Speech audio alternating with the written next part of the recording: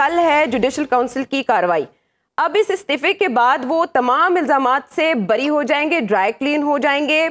कोई इस इस्तीफे को ही चैलेंज कर देगा या कल प्रोसेस उसी तरह आगे बढ़ेगा जिस तरह पहले चल रहा था? मैं देखें, सुप्रीम जुडिशल काउंसिल की जब कार्रवाई होती है, जब उसमें रेजिग्नेशन अगर आ जाता है तो वो कार्रवाई पे खत्म हो जाती है हो जाती है। ये मैं आपको पास प्रैक्टिस बता रहा हूँ।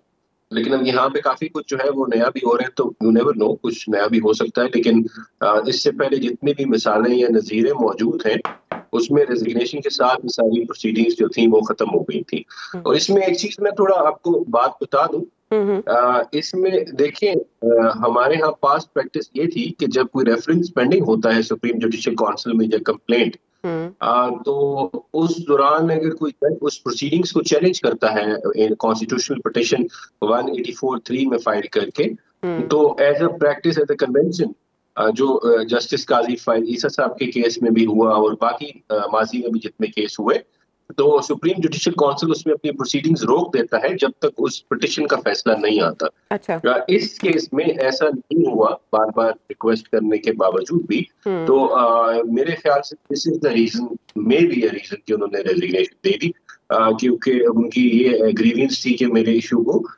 as per article ten A of the constitution मुझे फेयर ट्रायल नहीं दिया जा रहा हम्म। तो उन्होंने फिर रिजाइन कर दिया इस तरह माजी में आप देखें जस्टिस इकबाल हमीदुर रहमान साहब पे कुछ इल्ज़ाम लगे थे जब वो इस्लामाबाद हाईकोर्ट के चीफ जस्टिस थे, फिर सुप्रीम कोर्ट में आ गए थे तो उन्होंने भी रिजाइन दे दिया था लेकिन उनके साथ जो दूसरे जज साहब थे, जस्टिस मेरे ख्याल से कास, जस्टिस कासी थे मेरे ख्याल से उन्होंने उसको फेस किया प्रोसीडिंग्स को, और उनका जो थी वो प्रोसीडिंग्स चलती रही, उन्होंने रिजाइन नहीं किया। तो ये जज टू जज वेरी करता है कुछ जज रिजाइन कर देते हैं कुछ नहीं करते कुछ प्रोसीडिंग्स को चैलेंज करते हैं लेकिन यहाँ पे जो जज साहब थे उन्होंने उसको प्रोसीडिंग्स को चैलेंज किया लेकिन उनको जब स्टे नहीं उन्होंने दिया वहाँ पे प्रोसीडिंग्स में तो उन्होंने रिजाइन कर दिया। अच्छा इसके इनके एहसास के हवाले से पब्लिक अकाउंट्स कमेटी में भी केस भेजा गया है। तो अगर सुप्रीम जुडिशल काउंसिल की कार्रवाई यहाँ खत्म हो जाती है कोई और इदारा इन असाजात की तहकीक कर सकता है कार्रवाई कर सकता है इस पर?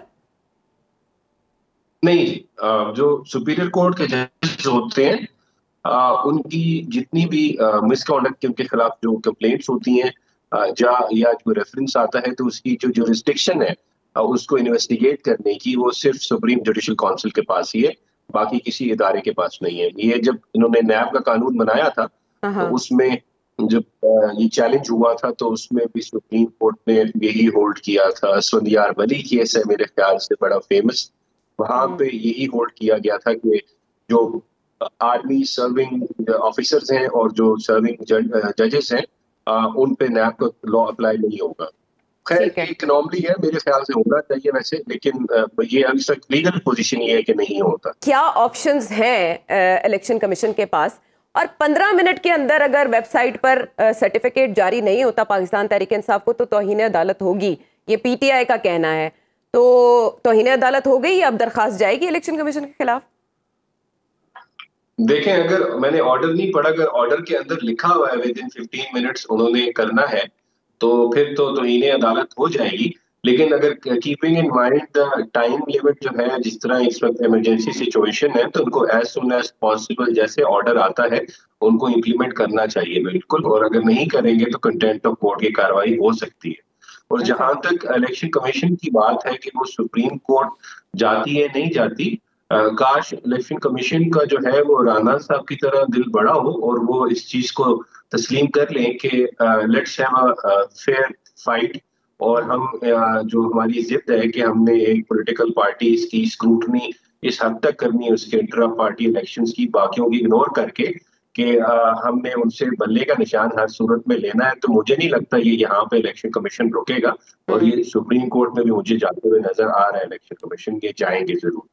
और जहाँ तक देखें इलेक्शन कमीशन अगर हम उसका कानून पढ़े उसके आइन में शिके पढ़े आर्टिकल 218 और 220 तो हम्म। उसमें इलेक्शन कमीशन की जो मेन रिस्पॉन्सिबिलिटी है उसको बनाया इस वजह से गया था कि वो इंश्योर करे कि इलेक्शन फेयर हो फ्री हो ट्रांसपेरेंट हो और टाइम पे हो। सो फार अगर हम देखें तो इलेक्शन कमीशन जो उसकी आईनी ज़िम्मेदारी है उसमें मुझे फेल होता हुआ नज़र आ रहा है अब से हम्म। नहीं पिछले डेढ़ साल से हम्म। अगर आप देखें पहले पंजाब और केपी के असम्बली की इलेक्शन डिस्पाइट द फैक्ट कि सुप्रीम कोर्ट का ऑर्डर था इलेक्शन कमीशन ने इम्प्लीमेंट नहीं किया जो भी वजूहत दी उन्होंने फंड्स का मसला है सिक्योरिटी का सिचुएशन खराब है सारी चीज़ें मिला के लेकिन टाइम पे नहीं हुआ इलेक्शन कमीशन और अब दोबारा अगर हम देखें आ, मुझे इलेक्शन कमीशन का फोकस ज़्यादा इस चीज़ पर नज़र आ रहा है कि भले का साइन ज़्यादा इंपॉर्टेंट है एज कंपेयर टू कि पंजाब में जो ब्यूरोक्रेसी है जो पुलिस की इंटरफेरेंस है उसको हमने प्रिवेंट करना है या हमने बल्ले वाले निशान पे ज़्यादा फोकस करना है। चले ये तो अगला स्टेप बताएगा। लेकिन मुझे आपसे यहाँ पर एक और चीज़ जाननी है आपसे। अबू सर प्लीज़ सॉरी आप माजरत आपकी बात काटी। बैरिस्टर गौहर का ये कहना था आज फैसला आया तो पीटीआई उम्मीदवार पार्टी टिकट ले सकेंगे ताखीर हुई तो चाहे फैसला उनके हक में हो इसका कोई फ़ायदा नहीं होगा। फैसले में ताखीर से तहरीक इंसाफ इंतबी निशान से महरूम हो जाएगी।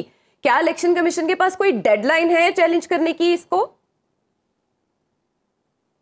देखिए 20 दिन होते हैं आपके पास आ, जो सुप्रीम कोर्ट में अपील फ़ाइल करने के जहाँ तक मुझे याद पड़ रहा है उसके अंदर इन्होंने करनी होती है।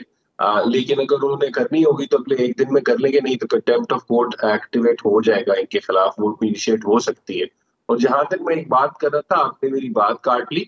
देखिए इलेक्शन कमीशन ने मैं यही कह रहा था कि हर चीज़ की तैयारी कर ली हुई है कि ये यहाँ तक के बल्ले को किस तरह लेना है they are ready on it हर। चीज़ पर तैयार है लेकिन जो इलेक्शन उन्होंने कराना है उसमें मुझे उनकी बिल्कुल तैयारी नज़र नहीं आ रही कि हमने फ्री एंड फेयर इंश्योर कैसे कराना है इलेक्शन कमीशन में ये देखें अगर आप चले जाए ना ये लाहौर में यहाँ पे चुपुरजी है हम्म। वहाँ पे देखे वहाँ ढोल वाले बैठे होते हैं वो पूरा दिन फारिग बैठे होते हैं लेकिन जब उनका टाइम आता है शाम को कि उन्हें जहाँ पे शादी पे परफॉर्म करना होता है तो फ़ौरन तैयारी पकड़ लेते हैं तो इनसे इलेक्शन कमीशन से बेहतर तो ये ढोल वाले हैं जो वो तैयारी करके पकड़ के बैठ जाते हैं लेकिन पूरा दिन फारिग होते हैं पाँच साल इलेक्शन कमीशन फारिग बैठी रहती है साल में एक दिन इलेक्शन कराना होता है लेकिन वहाँ पे उनकी मुझे तैयारी नज़र नहीं आ रही कि इंश्योर कैसे करना है कि फ्री एंड फेयर इलेक्शन हो